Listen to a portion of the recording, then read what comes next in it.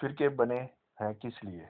देवबंदी बरेलवी, वहाबी, सुन्नी, शिया, मालकी, हनफी, नक्शबंदी और वगैरह वगैरह। फिरके बने कुरान और सुन्नत की मुखालफत में।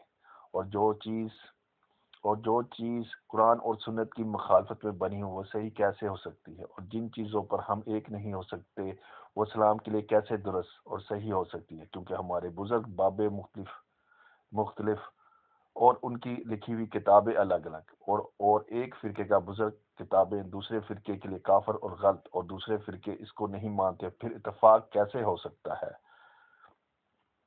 मुसलमानों की तरक्की और गुर्बत में सबसे बड़ी रुकावट फ़िरका परस्ती है। देवबंदी, बरेवली, वहाबी, सुन्नी, शिया, मालकी, हनफी, नक्शबंदी और वगैरह वगैरह जब तक हम इन फ़िरकों की एनक पहनी होगी। हम कभी भी तरक्की नहीं कर सकते, क्योंकि इस्लाम में कोई फ़िरका नहीं। हज़रत आदम सलाम से लेकर हमारे आखिरी नबी मोहम्मद सल्लल्लाहु अलैहि वसल्लम तक जितने पैगंबर रसूल, नबी आए, वो तो वो सभी मुसलमान थे और एक ही पैगाम दिया, हम मुसलमान हैं, एक अल्लाह की इबादत करते हैं, उसी से दुआ और मदद मांगते हैं।